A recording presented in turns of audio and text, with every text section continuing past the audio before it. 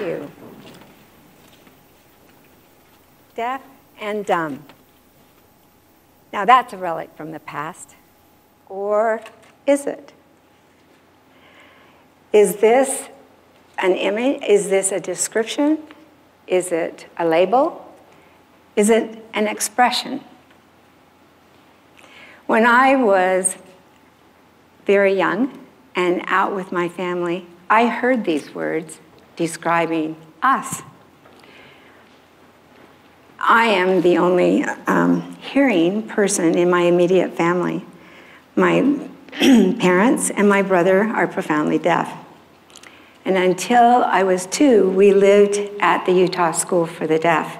So I was around lots of hearing and deaf people. My parents were teachers there. They had grown up from kindergarten to, through high school in that school. They went to Gallaudet College in Washington, D.C., and then after graduation returned to begin their teaching careers at that school. Now, my parents could speak very well, which is totally counter to something I heard years later, which was anyone who signs will never learn to talk. Now, I know from my own experiences with my family and many other deaf people that that is not true. That it's a biased comment or it shows a total misconception towards sign language and towards those who are deaf. So, back to my parents, they could speak very well. Their voices had characteristics of tonality and flow and rhythm that were a little different. But everybody who communicated with them, hearing people who talked with them, no one had any difficulty understanding them. Their command of English was superb, absolutely superb. Their lip reading skills were amazing. My dad once um, explained lip reading to me as constantly putting a puzzle together, which is fascinating when you think about that. He said, You go for the content words and keep in mind the context of the conversation. And then you fill in with your knowledge of sentence structure, you fill in all the other words. But he cautioned, he said, you could, if you miss one word, misunderstand it, or just miss the word, you may, go, you may be going down this path of communication, understanding, while the real communication is going down another path. So it's very difficult. Now, that was in the era before interpreters, as we have here, who've absolutely made a huge difference in um, accessing information accurately, especially for the deaf, and especially in a large group like this. So my, my parents, their very own language, what they considered their own, was sign language.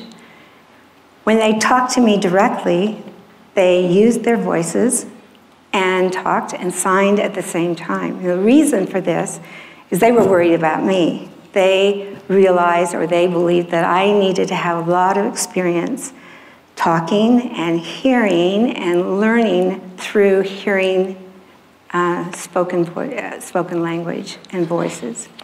So they always used their voices with me, but they always signed. And the reason for that was the whole principle of inclusion, including one another and including my brother.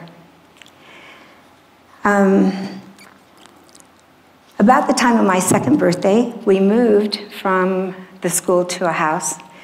And a few months later, so I was you know, somewhere between two and three. I really don't remember, but what I do remember was a sudden, one day, a sudden realization that nobody could hear me. Because now it's just the four of us. Before it was at the school with lots of people. Now it's just the four of us. And I was the only one that could hear my voice. So I made a conscious decision not to use it anymore. So I mouthed as I, as I talked, and I used signs at the same time, and that was my habit with, with the deaf. This um, played out with really interesting consequences when we were out among people who were not familiar with us and um, didn't know anything about being deaf. And because I didn't use my voice, everybody assumed I was deaf as well. So I heard lots of comments. And some of them were very demeaning and very judgmental comments, which were very upsetting to me. Um, I was most aware of that, coming, becoming aware of that when I was around six. And an example was we were out at a restaurant and lots of things were going on at the table next to us. And, you know, what's wrong with those people? Oh, they're deaf and dumb. Well, but why do they do that? Well, they're just not educated. And those kinds of, of descriptions were very upsetting to me. So I struggled. And one time, um, when I was struggling through this, I remember thinking, I will never let my parents know people say these things. I will protect them. and several weeks later, I had another experience where a large family, we were out at the restaurant again, and a large family was seated at the table next to us. And they were particularly blatant in their comments. So I'm going through this internal struggle again, listening to them and trying to, you know, not feel what I was feeling. And then all of a sudden, which I really can't explain, all of a sudden a calm came over me with the words in my mind. They, they are this way because they've never had experience with deaf people before. They're, um, they just don't know better. And that was followed by the thought, I can't change them, which was followed by the thought that time will increase understanding. It was amazing. And at that moment, I just let go, and it never bothered me again. And this enabled, that letting go enabled me when we were leaving the restaurant. I went to their table and smiled and said, I sure hope you enjoy your meal.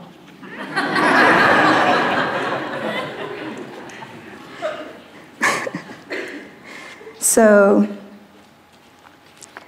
let's look at these words again deaf and dumb. What about them? I, I still occasionally, you'll hear it occasionally.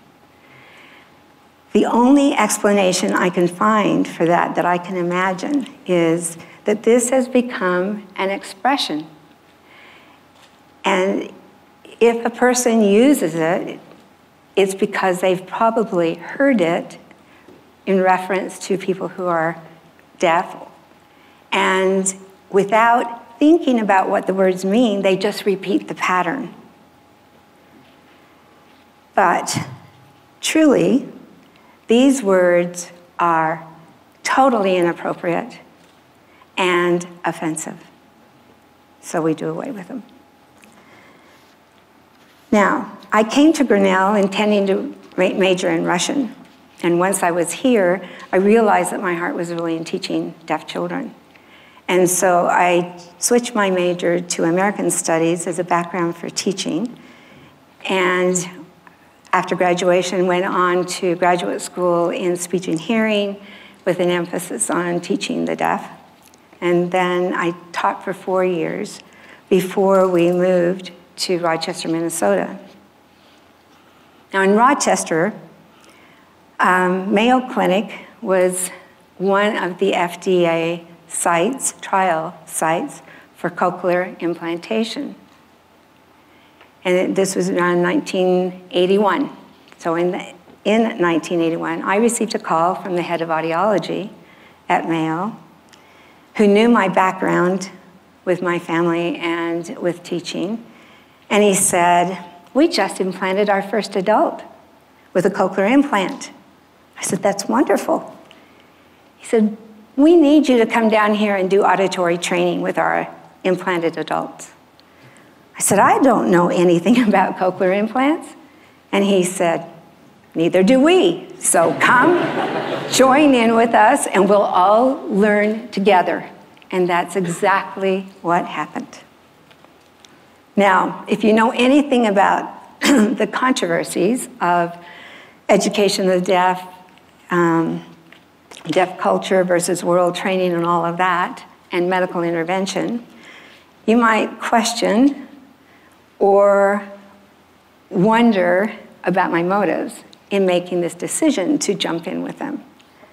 But I believed because what I was doing was taking one foot and stepping into the world of medical intervention for the deaf, medical perspectives for the, of the deaf, while my other foot, which I call my family root foot, was still in the deaf cultural world. But I believed that I could um, manage, that I could balance, and that I could interweave all of these things. And even that maybe I could be um, of help to hearing professionals, helping them understand and maybe appreciate the realities that deaf people feel and have. So I, um,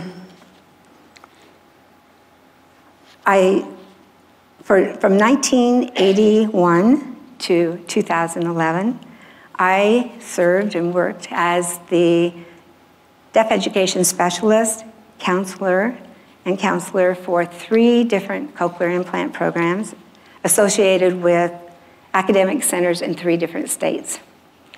And I started, of course, with Mayo Clinic, and I did the um, auditory training and counseling with their adult patients from 81 to 1990. In 1990, January, it, the FDA approved cochlear implant, implantation for children. And a lot of things changed.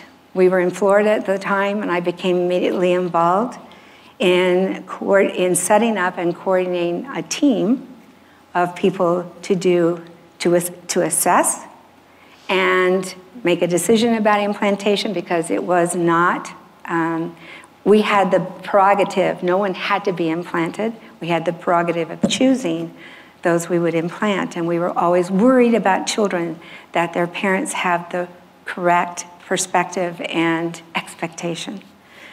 And so I did that in Florida and again in Houston, Texas, until, until 2011. Now, those professional experiences, working first with adults and then with the children and their families, together with my uh, experiences growing up with the deaf, with my parents, with the uh, deaf cultural world, have come together for me, come together confirming this perspective and, um, and belief that I know I've always had that deaf is truly just a different reality than hearing. It's not less than, it's just different. It's equal to hearing. And so keep that in mind. As I was working with the children, um, I, there are things that I would share with their parents to help them appreciate their children's abilities is that um, those who are born deaf or lose their hearing very early in life develop abilities that we who are hearing will never have. And we, know, we all know that we have our basic senses. If we lose one, the others are heightened and become more acute. And particularly for the deaf, that would be the visual sense and augmented by the tactile sense. And so they're, they're very visually sensitive in ways that we are not, and also tactily. So we had, I often had parents come in to counseling with me, and they, and I'd been working with them, or all of the team had been working them with them for quite a while, just doing all of the testing. And they would say, you know, we know with all this testing, you say that our child is deaf, but we're really having a hard time believing this because every time we walk into his room or into his space, he turns and looks at us. And so I would smile and say, okay, think about this. You know what the testing is, you've seen all of it. Now think about the senses we have. What would clue your child into knowing that you've come into his space. And so, generally, of course, they would say, Oh, yes. Every time you open a door or close a door a, to a room, air currents move in the room. Every time there's movement in the room, there is movement of air currents. We are oblivious. We who are hearing don't pay any attention to that. But those without hearing and they have this heightened sensitivity, they feel it and they respond. And it was really important to help parents understand that they had these abilities that were very unique, that they as parents didn't have. When I was a little girl, I remember watching my dad in a, he was playing in a basketball game on a deaf team against a hearing team. It was a championship game, and um, as he made the final winning throw, um, throw or winning basket, then everybody erupted and all the fans go out on the state, out on the floor, and I'm running out there too. I, I don't know, I was, I was younger than five. And I ran up to him, and what did I ask? How can you do that? How do you know where people are behind you? You're deaf. And then I realized I asked a really dumb question, and he was very kind and smiled and looked down at me and he said, I feel them. So it's that kind of sensitivity that they use all the time that we are oblivious to. I also believe that those who are deaf um, have even a, a deeper sense of sensitivity that we who are hearing, in our sense of well being and our sense of security at any moment in time, is first dependent on hearing. We rely on our hearing for that security. You take that away, then what do you have? If you don't have hearing, then you rely on these tactile and visual senses to give you that sense of security. And I felt this was really important. I saw the results of talking with parents about it. It was very important to help them appreciate and understand that their children had unique abilities that we should support and, and, and indeed celebrate. That deaf, being deaf or their deaf um, their lack of hearing was not something we should approach with an attitude of or um, a goal of fixing it. Now, um, there are major choices that people who do who are deaf have, just as all of us. We have major choices in our lives that affect the realities of the rest of our lives and our, our development, our progress, and our, our lifelong progress and development. For those who do not have hearing, one of those major choices is cochlear implantation. It is a medical option. Now, cochlear implants are an incredible tool, but that's what they are. They're a tool, but they are incredible. And over time, I have seen incredible progression in the development of these implants. And they are becoming more and more sophisticated in um, accessing sound in very refined and specific ways. Yet, success with a cochlear implant is dependent on, it's not push button, it's dependent on many, many, many experiences of listening, constantly listening with the implant, which means you're constantly wearing it, listening with the implant and making correct associations with experience, with whatever is going on at that moment, whether it's an object that you're dealing with or an activity or speech communication. So you have to have layer upon layer upon layer of experience listening and trying to make sense out of it. And that was critical in helping everyone who was implanted understand. They had to get over that it wasn't a push button miracle. Now, um, we hear with our brains.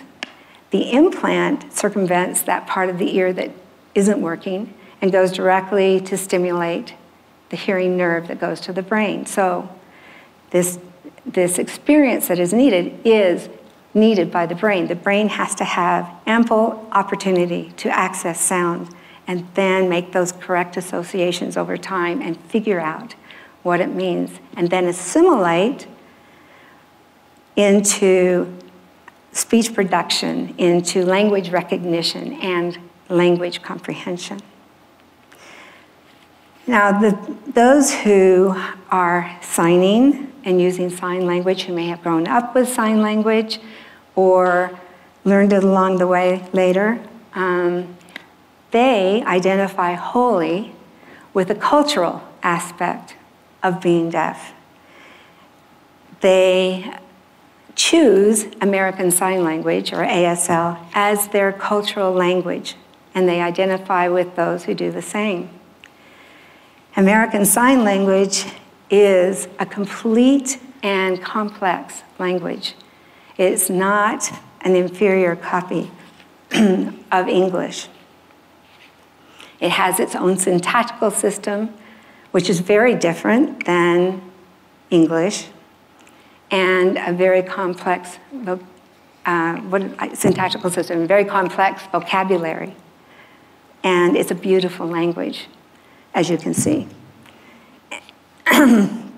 and um, those who choose this cultural choice or choose the cultural avenue, then of course they're part of the deaf culture. And the deaf culture has become a, a, a very um, proud and very vibrant entity, and it has an incredible history and um, many accomplished individuals who have come from that cultural realm. Um, this, the choices that they have, that, that those who are deaf face, is, is controversial sometimes and presents dilemmas to them along the way, some of them more than others.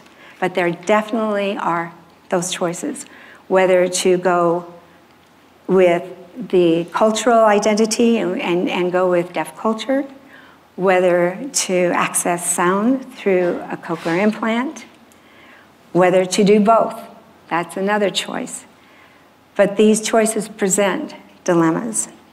Now, Marlee Matlin, whom you may recognize as a very well known deaf actress, recently produced a documentary called, um, oh, I'm Deaf Out, I missed Deaf Out Loud. I hit the button, I'm sorry, Deaf Out Loud. And um, you, I don't have the icon here, but it is a beautiful uh, documentary which um, presents three different families. And through these three different families, you can see the kinds of dilemmas that they face in making choices of what kind of, of the language, of schooling, education. Do they go with oral only, or do they go with the, simul- with the simultaneous using sign language as well as speech and language and lip reading training? They are very difficult, and you can see through their struggles how complex it is. And um, you can identify in many, with them in many of those cases.